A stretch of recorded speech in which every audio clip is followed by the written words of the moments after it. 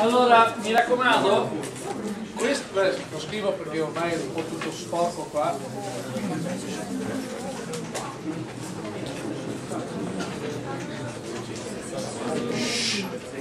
Questa è l'accelerazione che è questa curva gialla. Eh?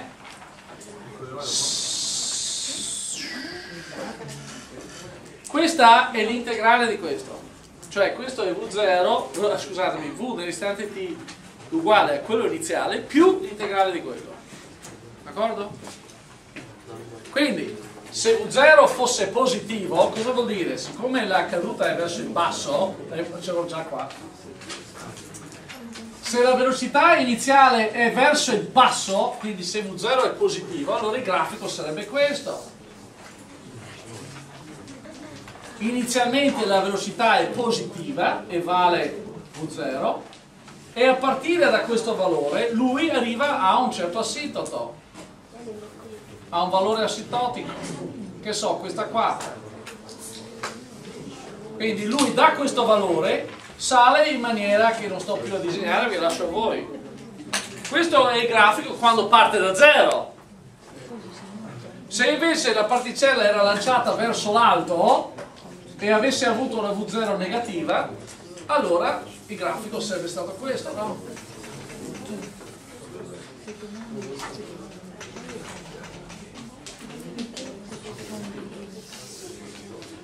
Se questa è la direzione della velocità positiva, quindi questo è verso il basso, velocità, questo qua, verso, e questo invece è verso l'alto, velocità negativa, lui partiva da un valore negativo, da un V0, che era minore da 0, e da qui, se questo è il valore asintotico, lui ci arriva così.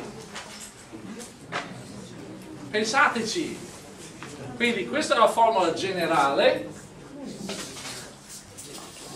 questa è la formula, questa qua è la formula quando la velocità iniziale è 0. Siamo d'accordo? Alcuni commenti che anticipano la fisica. Supponiamo che non ci fosse fluido. Il B, quel parametro B, è quello che descrive la presenza del fluido. Poi ci sono fluido, fluidi più o meno viscosi più o meno facili da attraversare. Per esempio l'aria è un fluido, l'olio d'oliva è un altro fluido. Quale dei due secondo voi è più difficile da attraversare? Ovviamente l'olio. Quindi immaginate di togliere l'aria del tutto. Non c'è aria, non c'è fluido. Quindi immaginate una caduta di un grave in assenza di fluido. Quindi quando, quando, questo parametro B vale 0, cosa succede a tau? Tau cos'è? Tau è M diviso B. Quando voi diminuite il B, rendete il fluido sempre meno viscoso, cosa succede a tau? Diventa sempre più grande e per assenza totale del fluido il tau è infinito. Cosa vuol dire? Che questa funzione esponenziale non, non muore affatto cioè se B è 0, questo vale 0, E alla 0 vale 1 e questo è G e sarebbe un'accelerazione costante. Quindi invece di avere un'accelerazione che muore esponenzialmente, in assenza di fluido l'accelerazione rimane costante. Per un fluido poco viscoso l'accelerazione muore esponenzialmente ma molto gradualmente. Per un fluido molto viscoso muore così. Quando non c'è fluido l'accelerazione non cambia affatto ed è g. E quando, quale sarebbe l'andamento della velocità se non ci fosse un fluido? Non sarebbe questa funzione qua. Quale sarebbe? Anzi, facciamo di nuovo il caso che parte da fermo, quindi questo è solo per, per essere avvertiti. Quindi io voglio fare il grafico quando la velocità iniziale è 0. Quando la funzione quindi parte da zero la velocità, velocità positiva vuol dire che scende il corpo, dovete abituarvi già adesso a guardare i grafici cinematici in questo modo. Cosa vuol dire velocità positiva? Vuol dire che la, la, al passare inesorabile del tempo, il tempo aumenta, una, cos'è una velocità? L'ho detto prima, una velocità in ultima analisi è un delta x su un delta t. Se questo è positivo, vuol dire che gli aumenti inesorabili del tempo corrispondono a un aumento di x. Quindi una velocità positiva vuol dire che la x diventa sempre più grande, ma x per noi è verso il basso.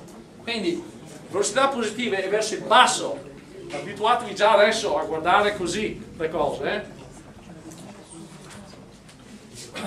Quindi in presenza di fluido cosa succede?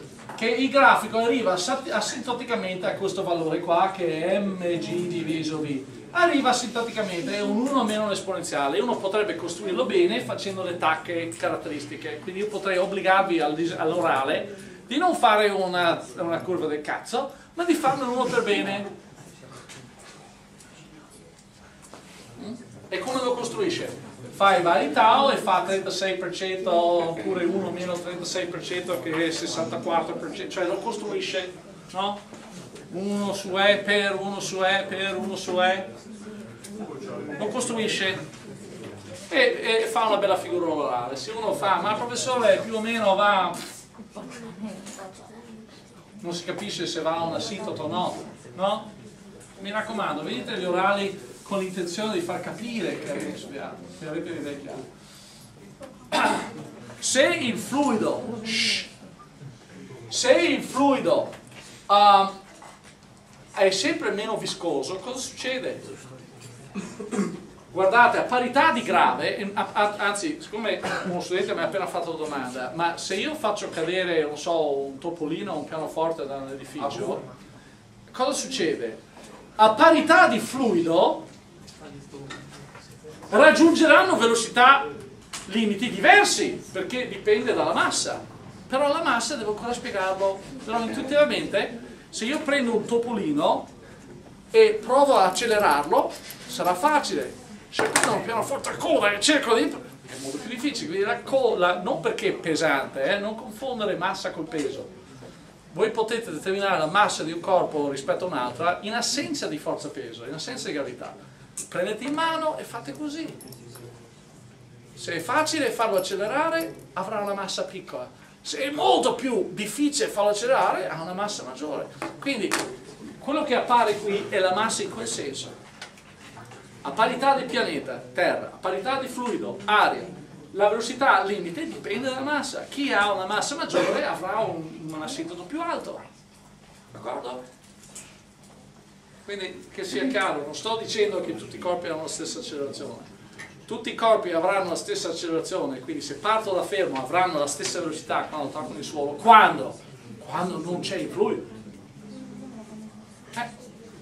O quando riesco a diminuire gli effetti del fluido. Per questo è il classico esperimento che faccio ogni anno, forse l'avrete anche visto nelle scuole. Io non ho costose uh, uh, pompe a vuoto, da poter rimuovere l'aria da questa stanza, anche perché poi morireste tutti, ma potrei costruire con molti soldi una specie di campana di vetro, attaccarci una costosa pompa, accenderlo e fare un vuoto, almeno parziale, dentro la campana e poi con un meccanismo di rilascio far cadere, che so, una piuma e un sasso e far vedere che partendo entrambi da fermi, avendo la stessa distanza da attraversare, arriverebbero simultaneamente che io traduco nel dire che arrivano alla stessa velocità.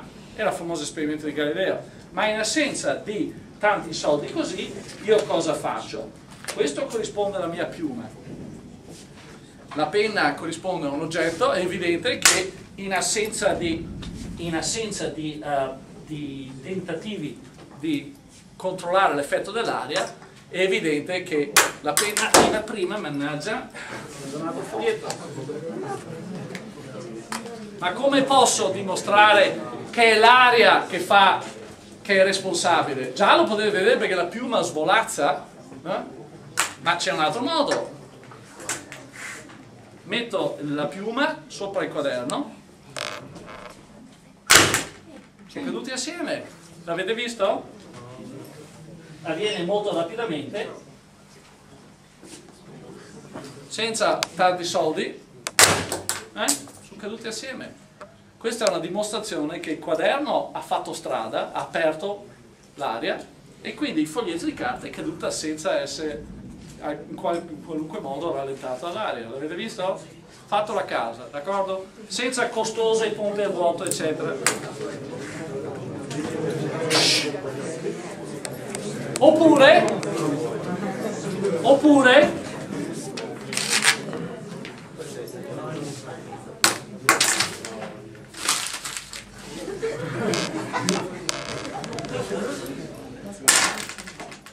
È evidente che l'aria è lo stesso oggetto, ha la stessa massa, non è che è cambiata la massa, se io faccio così col foglio, no, cioè la stessa massa, eppure con ridotto o aumentata la sua densità, cioè occupa meno volume, riesco a, a rendere l'effetto dell'aria praticamente trascurabile, cioè entro la precisione con cui riusciamo a guardare senza avere costosi sistemi di fotocellule che misurano o telecamere ad alta velocità, voi potete dire che arrivano ragionevolmente nello stesso istante a differenza di quando il foglio era aperto, quindi uno vede subito che è l'effetto dell'aria. E la cosa che mi stupisce è che gente, gli esseri umani abbiano impiegato secoli per cose di questo. Cioè pensateci, come faceva Aristotele con le persone più intelligenti del mondo, che siano mai vissute, a non vedere questo semplice fatto. Io sono molto stupito, cioè non riesco a, a, a, a capire questo fatto. Come mai si vede che in antica Grecia forse andavano giù tutti in tunica e in sandali, non faceva molto freddo neanche d'inverno, quindi forse Aristotele non ha mai attraversato un lago ghiacciato perché se l'avesse fatto avrebbe scoperto la legge di inerzia molto prima, no? Cioè, è veramente interessante come le persone non siano riuscite a vedere cose che per noi sono semplici, perché noi viviamo in un mondo di automobili, moto, treni, aerei, quindi molti concetti di fisica voi riuscite a capirli subito. La gente prima della diffusione di massa degli automobili, figuriamoci degli aerei, molta esperienza di, di, esperimenti di fisica non ce l'avevano, l'esperienza di fisica. Poi questo qua del, della carta arrotolata, com'è possibile che a nessuno avesse, avesse notato una cosa del genere? Comunque è andata così, ok? Shh. Quindi se io ho, se ho un B piccolo, facciamo così, se ho un B grande, poi lo faremo di nuovo esercizio, io sto facendo un discorso qualitativo per il momento se ho un B grande, cosa succede? Intanto il limite scende. Per esempio, se io dimezzo, se io raddoppio la B, siccome la B è del denominatore, se io raddoppio la B, la velocità limite si porta qua. Quindi l'asintoto nuovo è questo. Ok? Ma il tau com'è? Il tau era m su b. Quindi se io ho b2 uguale a 2 volte b1, Qual è, il, qual è il legame tra T2 e tau, tau 1 e tau, tau 2? Siccome tau è uguale a m diviso b1 e questo è uguale a m diviso b2, ma b2 è 2 volte b1, vedete che tau 2 è uguale a metà di tau 1, giusto? Se io raddoppio la b, la tau diminuisce di metà. Quindi se questo è la tau, facciamo la curva. Io adesso disegno la tau della curva con questo limite qua. Supponiamo che questo sia la tau. Tac, tau 1, tau 1. Questi sono tau 1.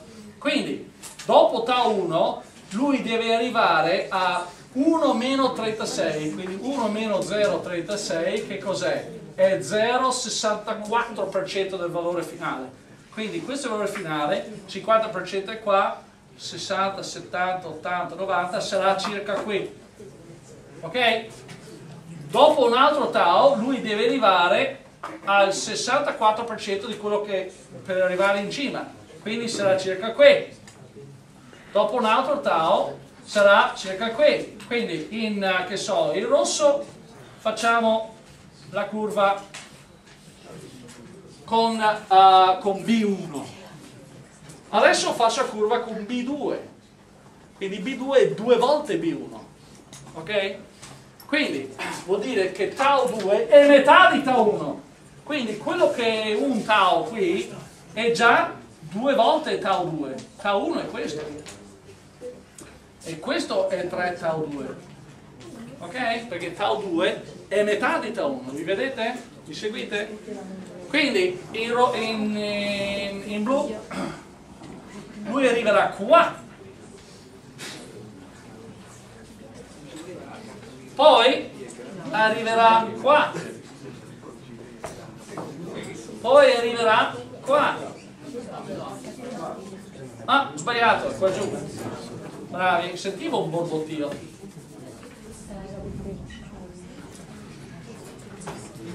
Quindi lui arriverà, siccome il valore finale è questo, deve arrivare a, questo è 50, sarà circa qua, poi devo arrivare circa qua e devo arrivare circa qua, quindi è così. Ok?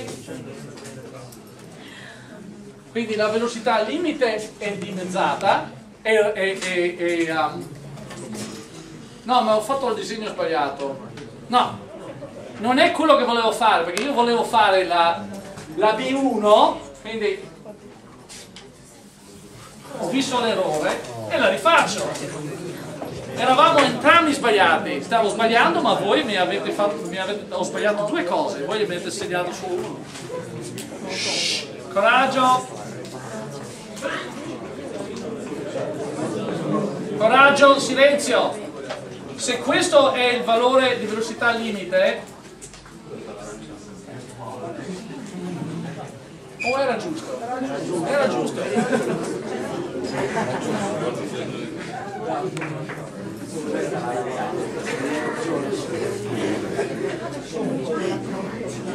ok? una cosa del genere era giusto quindi questa è la curva 2 e questa è la curva 1 ok? È giusto, era giusto. Vedi, ho, un, ho una mg diviso b2 e ho un mg diviso b1. b2 è uguale a 2 volte b1, quindi è metà, e la tau, eh, questo era giusto, era giusto, D'accordo? Cosa succede se io diminuisco la b? Allora facciamo un po' un conto. Qual è la formula? Eccola qua.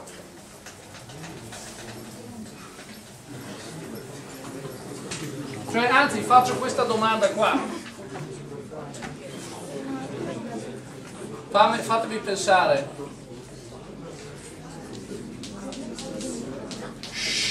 Fatemi pensare. Se io vi chiedo qual è la derivata di questa, cioè l'accelerazione è questa. Silenzio per cortesia, siamo stanchi, però questo non vuol dire di gettare la spugna. Eh? Vuol dire che dobbiamo uh, reagire, un respiro profondo, uh, mettete le dita in una presa elettrica, uh, datevi un pizzicotto, ma reagite. Non fate conversazione perché poi l'entropia aumenta Ragazzi, silenzio per cortesia. Noi abbiamo ottenuto questo integrando questo nell'ipotesi che la velocità iniziale fosse 0. Fate l'opposto per verificare. Quando fate gli integrali, siccome gli studenti non amano molto fare gli integrali, tendono a sbagliare, vi esorto, ottenuta una risposta, fate la verifica. E qual è la verifica? Di derivare questo è meglio che questo sia la risposta. Ovviamente per V limite intendiamo mg diviso b, d'accordo? Quindi se io vi chiedo qual è l'accelerazione iniziale, con una velocità così, la vedete da qua, l'accelerazione iniziale contigua uguale a 0 vale g, d'accordo? Quindi in realtà questo grafico qua, il modo migliore per disegnarlo è questo, tirate una retta che avrà pendenza g, Attenzione, sembra, questo vuole essere una retta, vedo che c'è una... Questa è la retta V di t uguale gt. Quello è la retta V uguale gt. Dovete convincervi che la, la funzione, questa qua, ha questo aspetto lui inizialmente sale con pendenza G, perché inizialmente qual è l'accelerazione di questo? È G! Qual è l'accelerazione? È il valore di questo, qual è l'accelerazione iniziale? È il valore di questo quando t uguale a 0. E quando t uguale a 0 l'accelerazione è G. Quindi inizialmente la funzione rosso, che è questa qua, deve, deve, deve cercare di seguire questa retta, poi comincia a, diso, a, a, a, scostarsi sempre più fino ad arrivare per l'appunto al suo assetto. Questo è il modo di disegnarlo.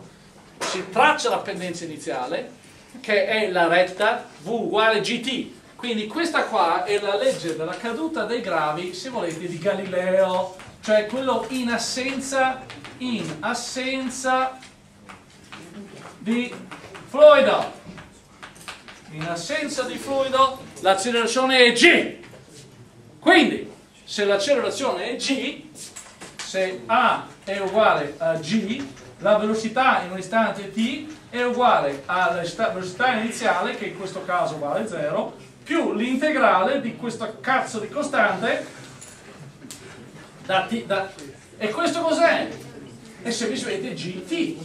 Quindi g per t è l'andamento della velocità in assenza di fluido.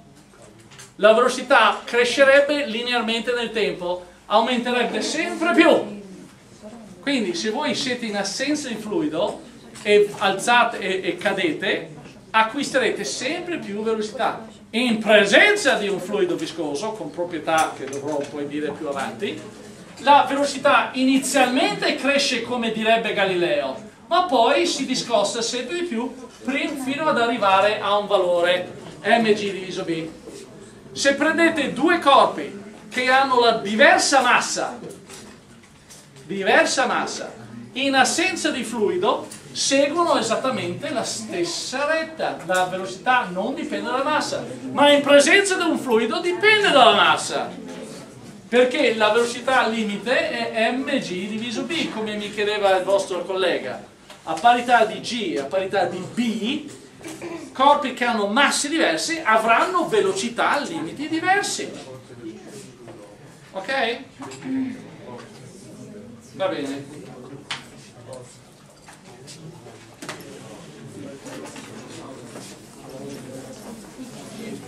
Mi raccomando, da questa velocità tiratevi fuori qual è la posizione. Come si fa?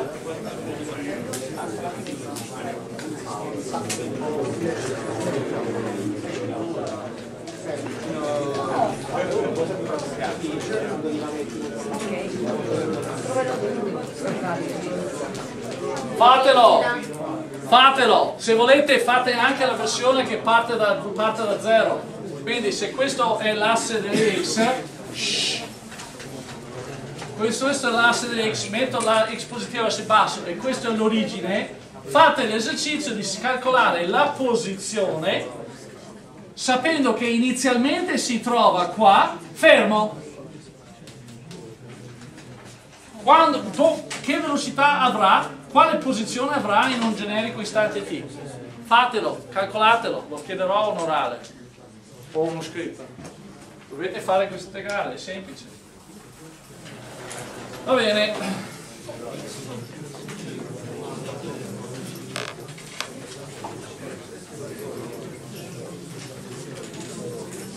Facciamo questa legge oraria qua. Come vedete ormai questa è fisica, eh?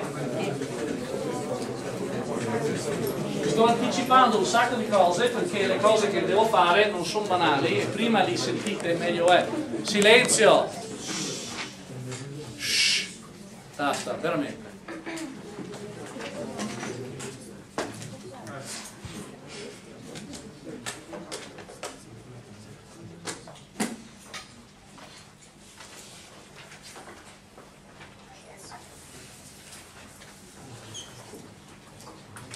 fa venire in mente nei concerti, non so, di Mozart, di Bach, all'inizio la gente si muove, le sedie, si siedono eh? E il maestro è là in attesa che ci sia si in sala. e lentamente c'è il silenzio, sta per fare così. Poi qualcuno mi voglia di girare e strozzarlo, no? applicare un momento torcente al popolo.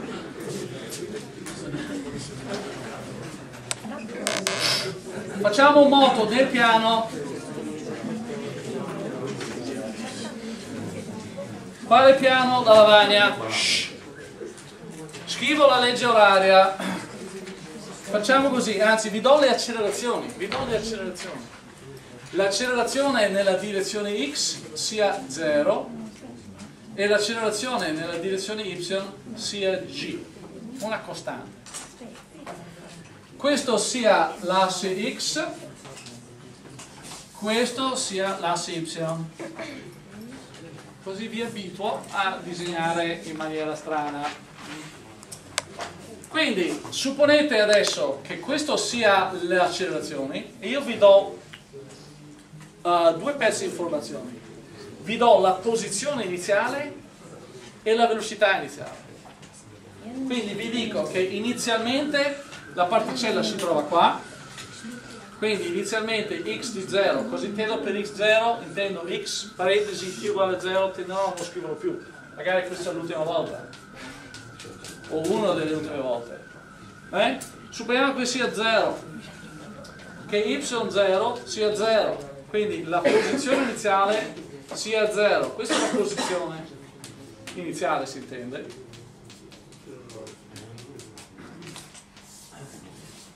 velocità iniziale.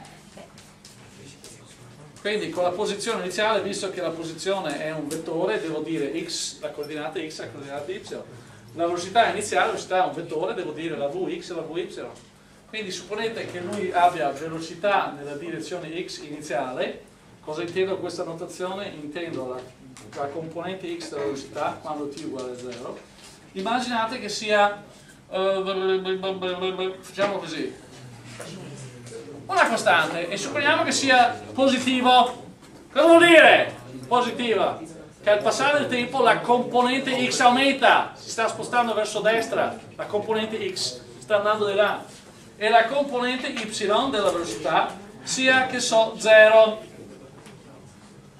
quindi inizialmente la particella è qua e se io disegnassi una freccia a rappresentare il vettore velocità come, lo, come sarà?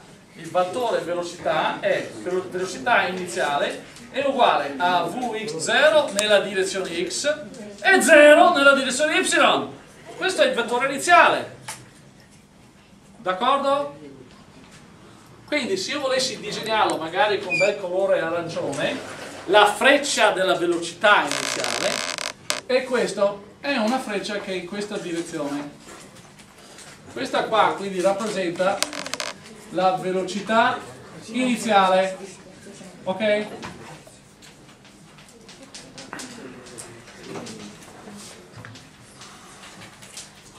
È una, freccia, è una freccia della direzione x va bene?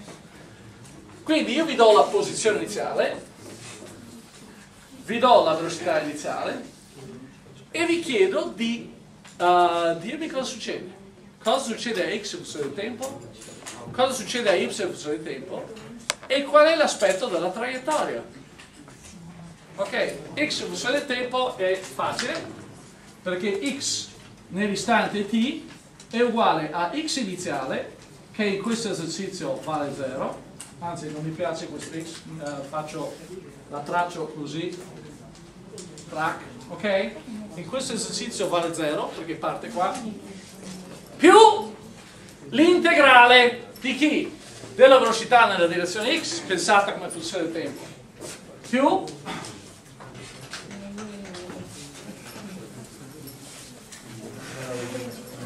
sfogatevi per 5 secondi in tempo di finire di cancellare.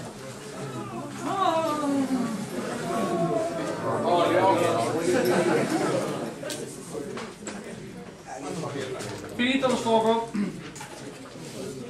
La derivata, l'integrale della velocità l'integrale della velocità della, della, componente x velocità nel tempo dall'istante iniziale all'istante generico qual è la velocità nella direzione x?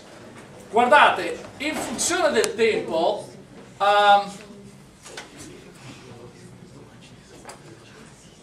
voi qua cosa vedete? cosa vedete? Che l'accelerazione nella direzione x, nella direzione x quant'è? Quindi ho saltato un passaggio. Prima di poter fare questo, io devo dire sapere cos'è questo, no?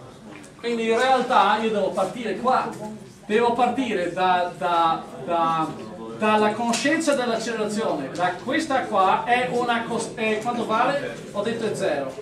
Quindi la velocità nell'istante generico, perché è quello che io devo mettere qui, integrando qui non è ancora noto finché non integro quello, no? Quindi la velocità nell'istante t è uguale alla velocità iniziale e questo in questo esercizio è diverso da 0 ed è positivo, più l'integrale dell'accelerazione.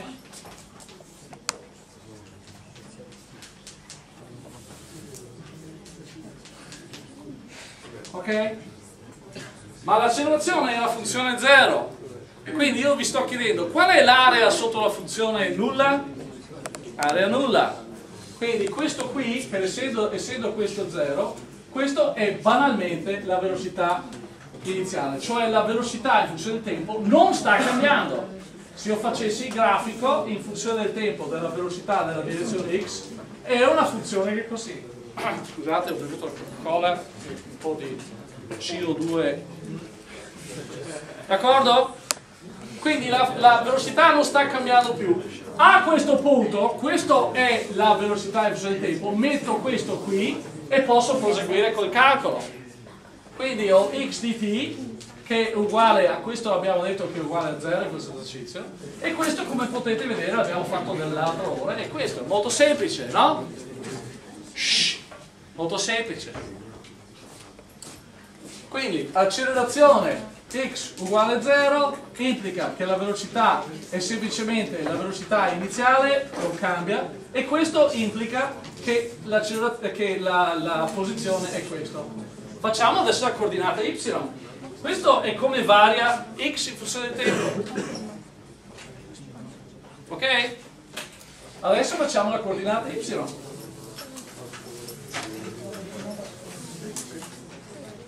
Parto dall'accelerazione e l'accelerazione è invece un valore, come l'ho chiamato? G. È G. Quindi la velocità nell'istante t è uguale alla velocità iniziale che ho detto che vale 0 quindi questo non c'è più l'integrale di questa funzione qua g in funzione del, uh, sto integrando la funzione che di fatto non dipende dal tempo nel tempo da 0 a t è abbastanza evidente che questo è uguale a gt ok? quindi adesso la velocità del tempo è una funzione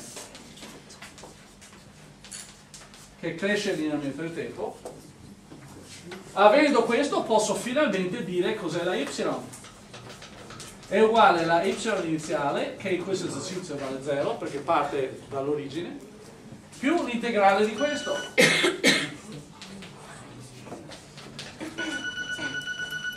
Adesso vediamo se suona tra 10 minuti, come dovrebbe.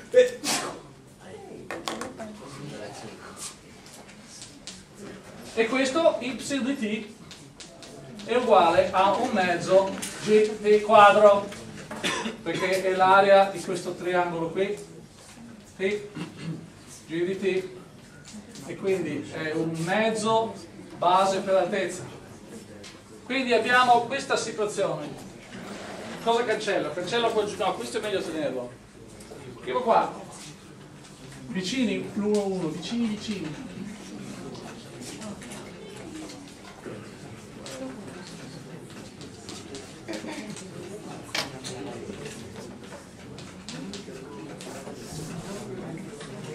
Vedete? Cosa ho fatto? Ho considerato l'accelerazione x, l'ho integrato per avere la velocità x e lo, per avere la variazione della velocità x e ho integrato la velocità per avere la variazione di x ho fatto la stessa cosa al coordinate y. Ho l'accelerazione y e integro per avere la velocità e integro la velocità per avere la posizione. Quindi sono arrivato a concludere qual è la legge oraria della coordinata x e della coordinata y. Però avendo scelto all'inizio dell'esercizio delle condizioni iniziali. E quali sono? Che partiva qua, quindi il vettore posizione è il vettore nullo perché inizialmente è lì, e la velocità è per di là. E nell'istante iniziale dov'è l'accelerazione? Se io vi chiedessi di disegnare con la, qual era la convenzione giallo era l'accelerazione, com'è l'accelerazione? L'accelerazione, eccola qua, questa è l'accelerazione. Se io vi chiedessi di disegnare la freccia accelerazione, come la disegnate? Nell'istante iniziale è una freccia che è per di qua, perché è puramente la direzione y ok? Che traiettoria segue la particella? Questa è una cosa che faremo almeno un'altra volta. Cancello un po'.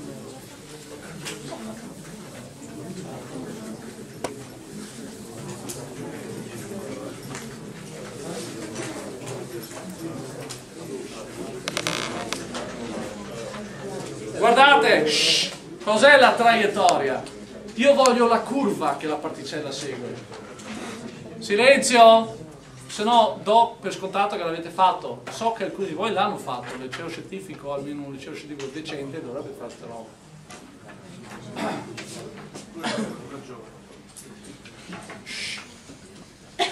Prendo la prima. Eh sì. Inverto. Quindi dalla prima scrivo la T come x diviso vx0. Questo è interessante perché mi dice che io potrei sapere quanto tempo è trascorso misurando la coordinata x.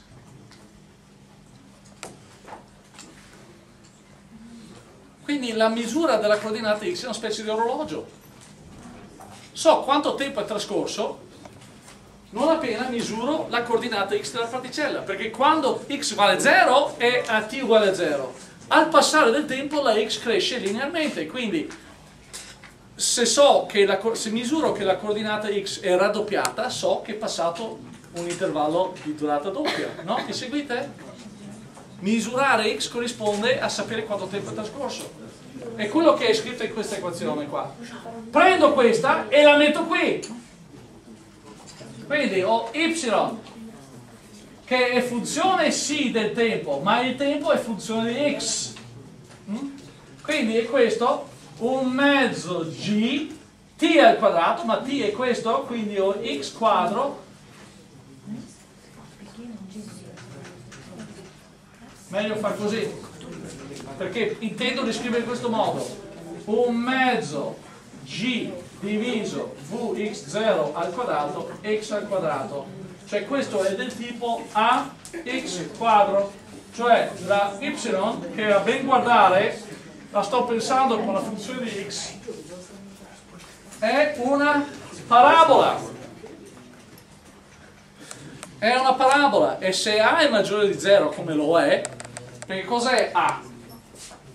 a è uguale a un mezzo g vx0 al quadrato. A è maggiore di 0 perché g è maggiore di 0 e vx al quadrato, vx0 al quadrato è ovviamente maggiore di 0, 2 è maggiore di 0, quindi A è maggiore di 0. Quindi come si apre questa parabola? Si apre in che modo? Si apre così.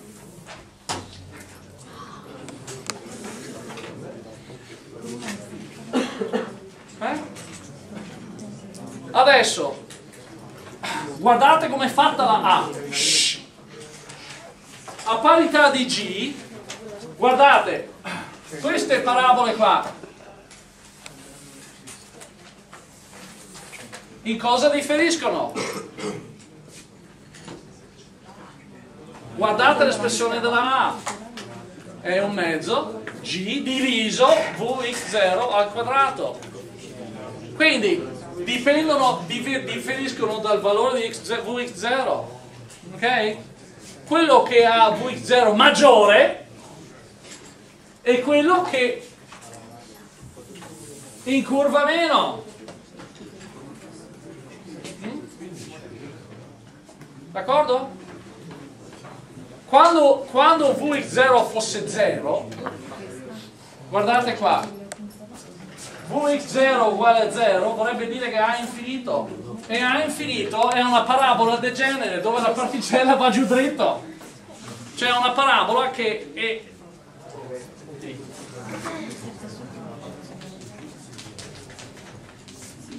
questo è quando questo qui è quando A vale 0 quando va a qualcosa A, a, a ancora più grande A ancora più grande. A infinito. Questo è A uguale a 0 questo è A1, A2 e avete quindi che A2 è maggiore di A1 ok? che è maggiore di 0 d'accordo? quindi avere velocità nulla vuol dire che va giù dritto come ovvio. Se voi non lanciate con la velocità orizzontale lui va giù dritto. È una parabola con una A infinita se invece mandate con una velocità pazzesca molto grande con una velocità orizzontale molto grande la A diventa molto piccola infatti se la A fosse 0 la particella andrebbe così cioè non cadrebbe, andrebbe dritta siamo d'accordo? questa è cinematica ovviamente allude a fisica no? allude a fisica quindi i, i, um,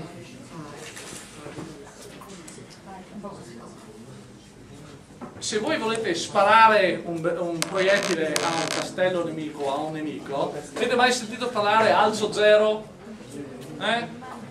Quindi voi avete il canone e se il proiettile è molto veloce, praticamente voi potete sparare con una parabola che è molto, molto poco cadente. Eh? Il proiettile va quasi orizzontale. Per andare rigorosamente orizzontale deve dare la velocità infinita, no?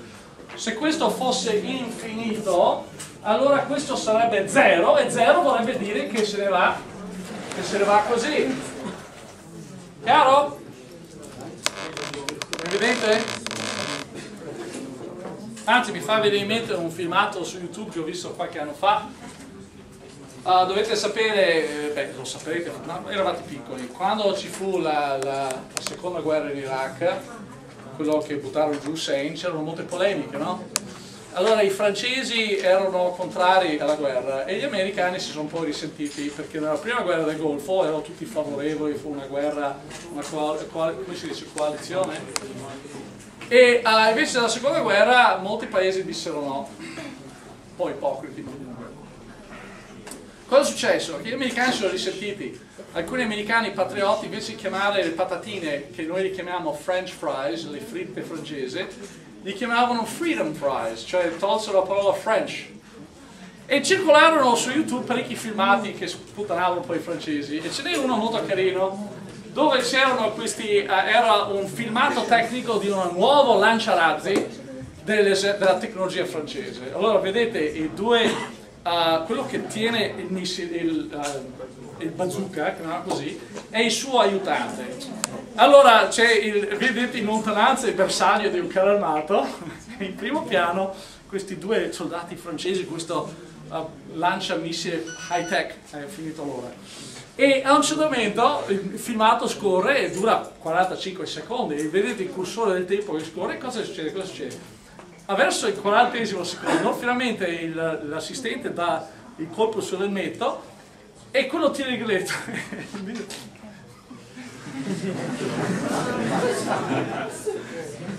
Stati fortunati, perché se esplodeva erano morti. Cioè il fatto siano me due metri. Cioè evidentemente la velocità con cui è uscito era così basso che ha fatto la parabola così. Ok? Vabbè, io l'ho riso come un matto perché ce l'avevo con i francesi.